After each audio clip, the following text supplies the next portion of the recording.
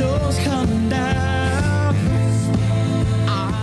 Welcome back. It is 945 right now on Q13 News this morning. You know him as exchange student Rory Flanagan from the hit TV show Glee right here on Fox. And he's performing tonight in Seattle with Celtic Thunder.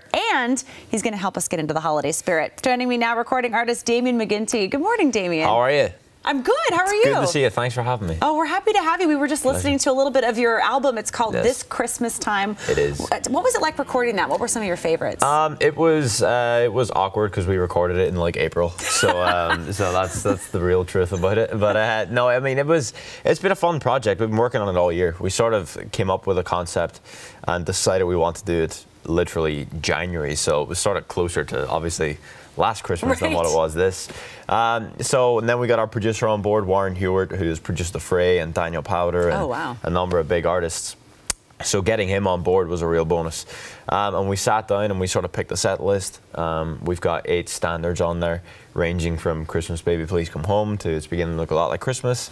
And then we've written two songs for it as well, Oh, wow. called Irish Christmas and uh, Will You Dance With Me This Christmas Time. Is there are- is there a particular song that takes you back to your childhood in particular, growing up? Um, I mean, yeah, I think you know it's sort of the song "River" is Mm-hmm. always uh, one of my favorites. It sort of takes me back to you know sort of my grandfather and sort of growing up around him around Christmas.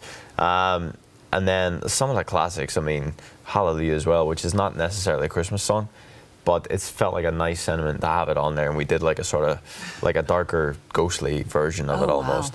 So that's sort of and Silent Night is always, you know, I used to be six years old in a choir boy, Oh, wow. um, singing that in chapel. So uh, that takes me right back for sure. I think that's why people love Christmas music so much, is there's a little bit of nostalgia there. Absolutely, Uh, pe- absolutely. people loved watching you on Glee, and you joined the cast through the Glee project. Yes. So was that I? Anytime there are auditions or a reality show to get on, Yeah. I always think, oh my gosh, how do people get through their nerves? Like, how, how was that experience for you? I mean, it was it was it was a strong experience. Um, I it was strong. I I was very hesitant to go into that and um, in the beginning before it sort of all began, because you know I've been with Celtic Thunder for four years, sort of creating a a profile and foundations for myself um, as a platform for a performer to sort of keep going and growing and have a bit of longevity. And then this reality show chance came along, and I was 18 or 19. I was like, I, I really don't know if I want to risk a credible four years that I've sort of built um, on a reality show where I could honestly make a fool of myself. It's quite possible.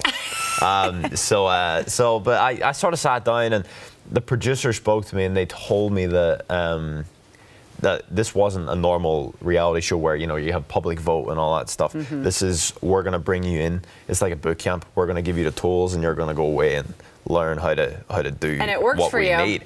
So I was like, I fancy a challenge. So I ended up doing it. And yeah, it worked. I ended up winning. It was a lot of luck, a lot of right place, right time.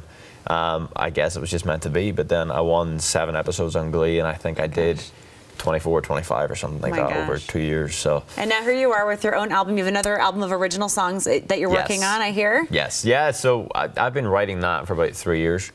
Um, we are planning.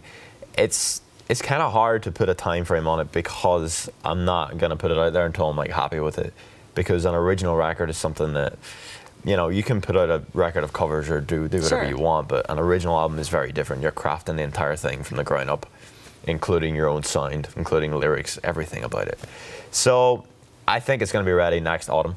Okay. I'm excited about it, and uh, that's you know that's why we did the Christmas album. This is beginning the cycle of releasing records for me as a as a future solo artist. Well, congratulations on all of your success. Thank you. And people can see you tonight in Celtic Thunder. Yeah, so I'm, I'm here tonight in Celtic Thunder, and then which is great. I think the show sold out. We're at the um, what's the theater called? The Paramount Theater. That's where we are. Theatre, yeah, we're there tonight, and then I'm back on my Christmas tour, as you're seeing there, December seventh, in the Shoreline Community College oh, Theater. Oh wow, great! Yeah, And live in concert. Yeah, and that's my Perfect own show, so. I'm very excited about that. And you can order this Christmas time from Damian McGinty on his website. Now it's also on Spotify. Yes. Thank you again for coming. Thank you, and I can confirm I will not be wearing that suit at that concert. so there you are. Oh, you can pull it off. But thank you, thanks for having me. Oh, I our appreciate it. pleasure. Liz, over to you.